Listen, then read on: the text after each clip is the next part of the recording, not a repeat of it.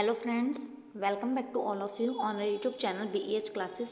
जैसा कि आप सभी को पता है कि S S C C H S L 2019 के एटीनथ मार्च के सेकंड शिफ्ट का एग्ज़ाम ख़त्म हो चुके हैं। जस्ट अभी बच्चे बाहर ही आए हैं एग्ज़ाम सेंटर से। तो हमने जल्दी से कुछ जीके के क्वेश्चंस कलेक्ट किए हैं। तो हम आपको उन क्वेश्चंस को बता देते हैं ताकि अगर आपका नेक्स्ट शिफ्ट में एग्ज़ाम है तो आपको काफ़ी हेल्प मिल जाएगी उससे। देखिए क्या क्वेश्चन बने। एक क्वेश्चन बना कि बंगाल की खाड़ी में कौन सी नदी गिरती है? क्या क्वेश्चन बना? बंगाल की खाड़ी में कौन सी नदी गिरती है? तो चार नदियों के नाम दे रखे थे, तीन पंजाब की कोई नदियाँ थी और एक नदी थी जो बंगाल की खाड़ी में गिरती है। नेक्स्ट जो क्वेश्चन आया कि टाइम्स पत्रिका के द्वारा टाइम्स मैगजीन के द्वारा किसे पर्सन ऑफ़ द ईयर घोषित किया गया है? फिर एक क्वेश्चन आया कि ओडीआई में, ठीक है? ओडीआई में किसे प्लेयर ऑफ़ द ईयर घोषित किया गया? फिर एक क्वेश्चन बना कि विश्व कप में सेमीफाइनल जब हुआ था, ठीक है? तब भारत कौन से देश से हारा था? विश्व कप में सेमीफाइनल में भारत कौन से देश से हारा था? नेक्स्ट क्वेश्चन बना।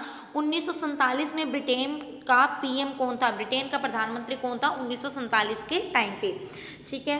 नेक्स्ट क्वेश्चन बना कि किस देश के साथ समझौता करने के कारण इथियोपिया के पीएम को शांति का नोबल पुरस्कार दिया गया? आपको पता होगा कि अभी नवंबर शायद कुछ टाइम पहले, चार पाँच मिनट पहले इथियोपिया के पीएम को नोबल पुरस्कार दिया गया था, शांति का नोबल पुरस्कार। क्योंकि उसने एक देश के साथ समझौता किया था, कुछ लड़ाई वगैरह थी एग्रीमेंट के लिए समझौता किया था।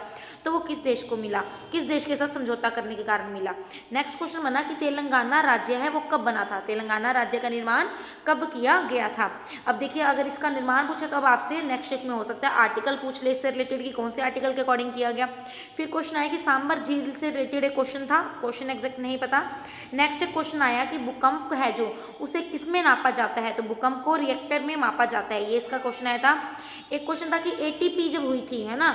एक ये जो गेम्स वगैरह हुए थे, उसमें शूटिंग में फ़र्स्ट रैंक पे कौन रहा था? एटी पे में शूटिंग में फ़र्स्ट रैंक पे कौन आया था? यानी इससे रिलेटेड एक क्वेश्चन था। एक क्वेश्चन आया कि फ्लू है वो किससे होता है? एक रोग है वो जीवाणु, विषाणु, इस तरह से। तो फ्लू है वो किससे होता है? तो ये है हमारे जीके के कुछ क्वेश्चन अभी हमें इतने क्वेश्चन प्रोवाइड मिले हैं। कुछ ही टाइम में हमें हम आपको और क्वेश्चन भी प्रोवाइड करवा देंगे कि क्या क्या क्वेश्चन आए थे। एक जो हमें सिनोनिम पता लगा जल्दी से कि एक के आई टी किट इसका आपको एंटोनिम बताना था। किट का सिनोनिम या फिर आपको एंटोनिम बताना था, ठीक है? एक क्वेश्चन जो आपके पास रीजनिंग में बने हैं।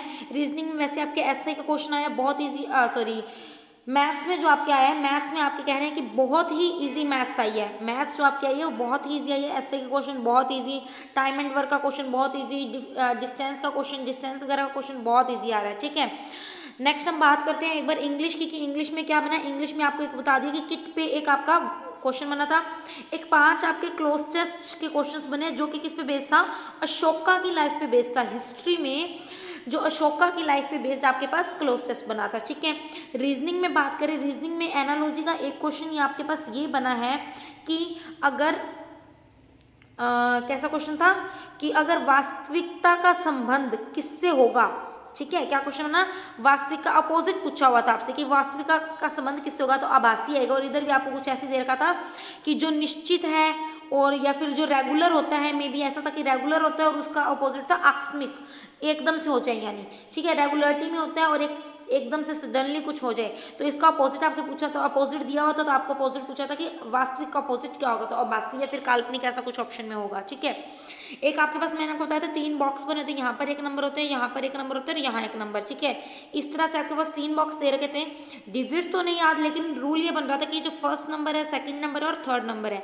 इनमें रिलेशन क्या था? फ़र्स्ट इंटू सेकेंड का हाफ़ करने पे हमें थर्ड नंबर मिल रहा था। तो ये भी आपके पास क्वेश्चन बना रीजनिंग में आपके पास। अभी हम कुछ ही मिनट में, यानी 20 एक मिनट में आपको लगभग 80 प्लस क्वेश्चंस आपको प्रोवाइड करवा देंगे। तब तक इन क्वेश्चंस को आप पढ़िए, इनके आंसर्स वगैरह जल्दी से गूगल करके अपना सर्च कर लीजिए। अगर आपका नेक्स्ट आने वाली वीडियो में एग्ज़ाम है तो नेक्स्ट आने वाली शिफ्ट में आपका एग्ज़ाम है। और अगर आपको वीडियो अच्छी लगती है तो प्लीज़ इसे लाइक ज़रूर कीजिए शेयर कीजिए अपने फ्रेंड्स के साथ जिनका भी नेक्स्ट शिफ्ट में एग्ज़ाम है या फिर आने वाले दिनों में एग्ज़ाम है। और अगर आपने अभी तक हमारे चैनल को सब्सक्राइब नहीं किया है तो सब्सक्राइब कर लीजिए चैनल को। बेल आइकन को जल्दी से प्रेस कर लीजिए ताकि आपको नेक्स्ट वीडियो का भी नेक्स्ट वीडियो का इसी शिफ्ट का हम जब से एनालिसिस आपको अभी अपलोड करेंगे तो आपको जल्दी से नोटिफिकेशन मिल जाए। तब तक के लिए thank you so much bye bye take care best of luck for your exam